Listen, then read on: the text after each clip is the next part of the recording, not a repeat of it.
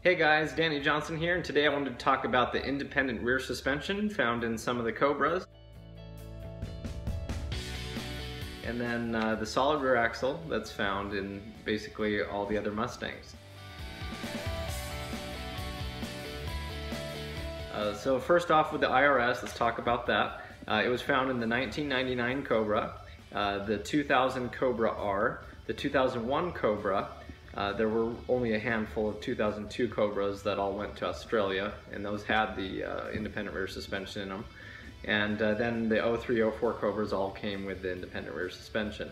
So it wasn't so much uh, an option for the Cobra, it was standard uh, equipment for it. And something to mention about uh, the independent rear suspension in these Cobras is that in 1999 it was a 28 spline setup and so it wasn't quite as strong. You can actually find them for about $700 if you can find them for sale. Sometimes they sell pretty cheap. Uh, anywhere from uh, from that up, the 2000 Cobra R, the 01 Cobra, the 03, 04 Cobras, they were to 31 spline axle uh, shaft count. And uh, in a way, it's kind of deceiving because it's 31 splines where it enters the carrier and goes into the differential, but it's still 28 spline on the other on the other side. So um, the thing about the IRS though is they, you know, they've been known to break because of uh, axle hop. So if, if you take it to the drag strip and you don't get out of it when it starts to hop, and I've actually seen this firsthand uh, happen to a Cobra, and uh, if you don't get out of it, it will snap that axle shaft. And it's not so much the power level from the car, but it's the harmonics of the vibration as it's shaking. Uh, I actually saw two Cobras snap their axle shafts that way. Um, basically, the owner got into it, it started to axle hop, and instead of uh, getting out of it, he just kept his foot planted and, and just snapped the shaft.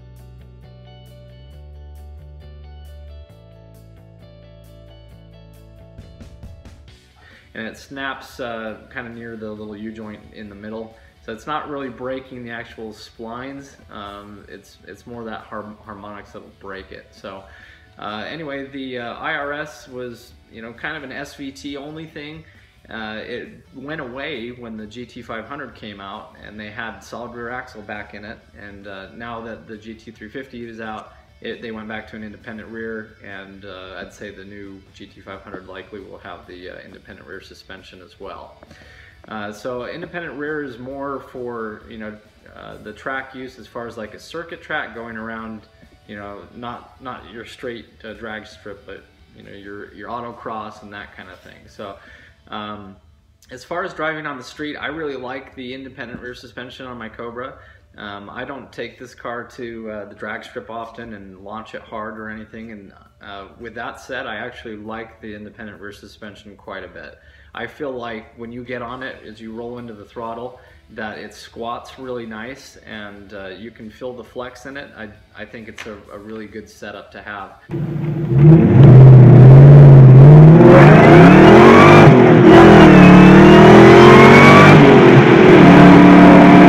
even in a straight line.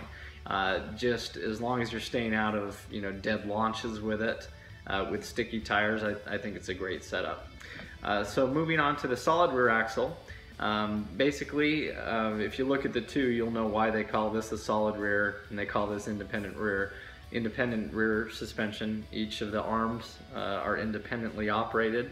Uh, you have suspension on each side that's uh, allowing each side to lift and raise, where on a solid rear axle, being that it's basically one solid piece, the whole thing kind of will bounce around, but it'll stay straight. And that's why they'll also call that a straight axle.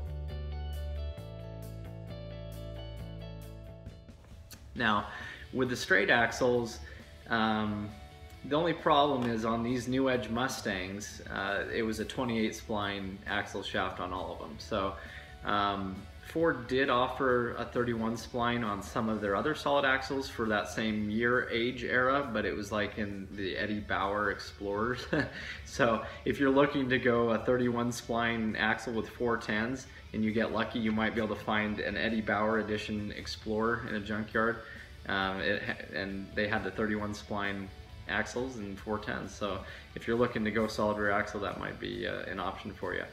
Um, but anyway, with that said, the 28 spline uh, axle shaft is uh, somewhat a weak point uh, in these cars. It's not really that bad, uh, and there are some things you can do about it. I had Alloy USA half shafts or axle shafts that I put in my Mach 1 before I built the rear end on it, and it held up actually really well. My brother has the those axle shafts in his supercharged Bullitt, and he's been into the 12s, uh, almost into the 11s with that car, and that's just Las Vegas for you. But uh, anyway, um, it's held up fine. So you can make the 28 spline axles uh, setup work as long as you upgrade your half shafts to some hardened steel ones. Uh, so let's talk a little bit about um, the cost involved in these. The independent rear suspension is a lot more expensive and not just an expensive system, but it's expensive to maintain. If you go to look at all the bushings that are involved in upgrading those, uh, there's a really good uh, there's really good uh, company, FTBR, Full Tilt Boogie Racing. They do a lot with the IRS and, and help people reach a lot of goals with those cars. Uh, but those bushings can be up to a thousand dollars just for that alone.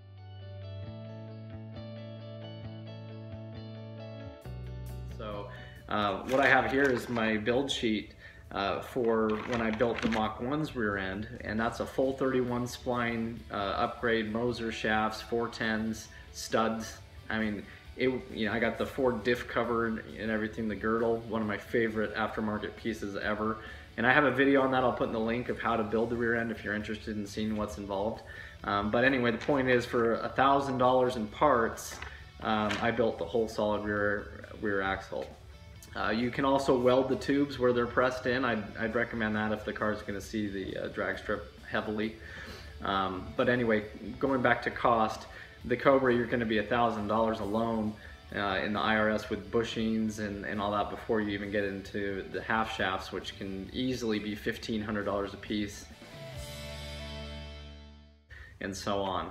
Uh, now, once you do upgrade it, you, you can hit some pretty good numbers with uh, an independent rear. I have a friend of mine, Jeff Smith. He has the competition Orange Cobra, uh, TVS powered, and he's been into the nines uh, with the independent rear suspension.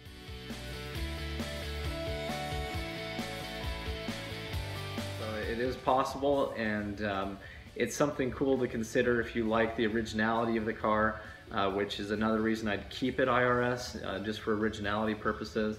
And um, also if you like the way that it, it drives with the IRS, uh, it is a little smoother of a ride. It's a little bit better around corners and daily driving and, and track use, uh, circuit track use in that way. Uh, solid rear axle, definitely that's the cheap way to go. You can pick those up in the junkyard for like 80 bucks if you're lucky, maybe a little more than that, but uh, and as I said, you can build the whole thing for a thousand dollars. Um, so a solid rear axle is definitely something to consider if you're going to be going to the track and going in a straight line all the time. Um, it definitely handles better than the IRS and going, um, you know, launching the car. Um, and with the independent rear suspension, it's that axle hop is what is what kills you. And there are ways around that. I have another friend uh, who had an independent rear suspension, and he added these airbags that he could fill up to keep that arm on the independent rear from from moving as much.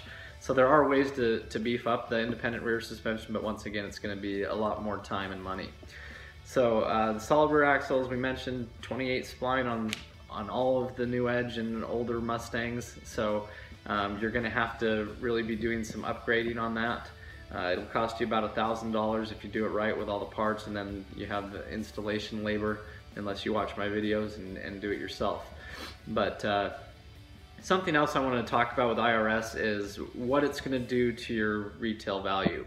Uh, so with a Cobra, and I'll admit, even when I was looking at Cobras, uh, you know, six years ago, whatever it was, uh, I was whenever I saw one that had solid rear axle in the description, I got a little nervous because I knew that that car probably saw a fair amount of time at the drag strip. Not a bad thing, especially if you're going to be doing a lot of tracking with the car and it's already there. That might be a, a selling point for you. as far as uh, originality goes, though, I'd uh, I'd be a little worried about it because um, knowing how easy it is to snap these half shafts. Um, you know, years down the road when somebody's looking at a Cobra to buy, if they're looking at a low mile example or looking to spend some good money on it, that's probably one of the things they'll ask. They'll say, is it still six speed and is it solid rear axle or does it have the, you know, the stock independent rear in it? So I'd, I'd be prepared um, to do that. So a thought that I had with my Cobra, just for fun, because uh, one of the, at, there's gonna be a few crossroads roads you're gonna get to. And so as the independent rear suspension starts to wear out, you're gonna get to that point where you're gonna have to decide, do I put a $1,000 worth of bushings alone in this thing? Or do I go ahead and just build the solid rear and put it in there for the same price and keep or sell uh, the independent rear that's in there? Because you, you literally can take the independent rear out of a Cobra, sell it for about $1,500 and build and keep, uh, you know, a solid rear axle and have a little extra money when you're done. So that's, I think that's the temptation. Um, I don't think I'd ever sell my IRS on this one. I had a spare one that I parted out. Um, but uh, it, I did have the thought that hmm, maybe I could take the independent rear out of the Cobra, uh, build a solid rear to drive around on, and then I have the nice IRS that's you know low mile and good condition over in the corner that I could put back in. So that's a thought that you can have to consider. Uh, where I only do a thousand miles or so a year on the car, I'm not that concerned about it anymore. Um, you know, I realized I don't drive it enough to really destroy it that much. So, uh, so that's what I'm going to do, just keep the Cobra's uh, IRS. Uh, but that's a that's a, definitely a thought, and I know a lot of Cobra owners have done that. Just pulled the whole IRS and sold it, and built a, a solid rear with the money, and they got what they needed out of it, and maybe even had a little extra cash left over. Uh, as I mentioned earlier, the 99 Cobras are the 28 spline axles on both sides, so you do want to be careful not to um, just jump to a, a 99 Cobra IRS. Uh, with a Terminator and its current power levels, uh, that could probably be uh, a problem for you. So let's talk about how uh, easy it is to swap these two. Uh, you can literally take the IRS right out of the Cobra and bolt it up to the Mach 1.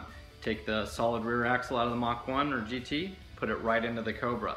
Uh, it's really not that bad, it's just undoing the drive shaft, some of the suspension components and control arms, and just dropping it straight down. I have videos on uh, taking off the solid rear axle. I don't have one on the Cobra, but it's actually a lot easier with the IRS. Just make sure you have a good jack system under there because it all comes out basically as one piece and it's pretty heavy. Uh, you're gaining uh, 80 pounds uh, savings if you're putting the solid rear into the into the Cobra. That IRS weighs about 80 pounds more. Um, but anyway, it's actually a pretty straightforward swap, one to the other. They bolt right up. However, there are a few things you need to change. Uh, one, there's a difference in length on the drive shaft. So you sometimes you can get away with changing the actual um, U-joint on the back of the drive shaft to make up that difference. Um, sometimes it's better just to get a different uh, drive shaft itself. And uh, some people have even cut their drive shaft and re-welded it to the correct size. So um, that's possible too, but there will be a difference there. And also you'll notice the uh, ABS system's a little bit different. The wires plug in under the seat of the car. And so you take out the seat and that's where you can pull the harness through. Um, but the independent rear suspension ABS wires are basically right near the differential. Uh, the ABS rings are right there where they plug in. And then uh, on the solid rear, you have to go all the way to the end of the axle where um, that's where the ABS ring is and that's where the sensor connects. And I have videos on, on that as well, I'll throw in the description.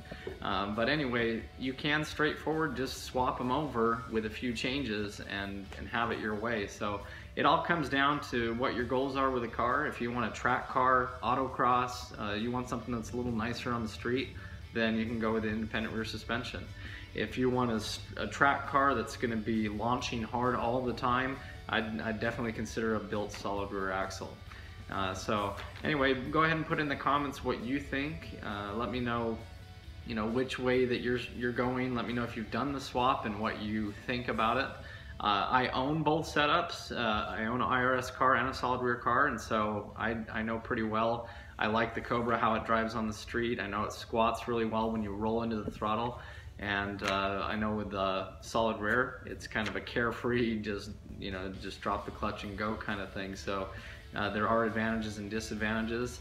Uh, like I said, you can take your IRS out, put it in the corner and keep it because they're going to be worth something someday. And uh, you might want to do that before you have to dump a lot of money into it if you're daily driving the car all the time. Um, but on the other hand, you could take the IRS out, sell it, and uh, build a, a, solid rear axle with the same money. Uh, if not, come out on top. And so that's, I think that's why people uh, commonly will drop that uh, independent rear out of the Cobras. They just can get what they want out of it. Um, as mentioned earlier, you can pick up a 99 Cobra, at, you know, whole IRS setup for around seven, eight hundred dollars. The 0304 Cobra IRS is going for typically $1,100 or even a little bit higher. So uh, that's what you can expect to, to, spend on those. So anyway, let me know what you think and uh, let me know if you have any questions. Thanks guys.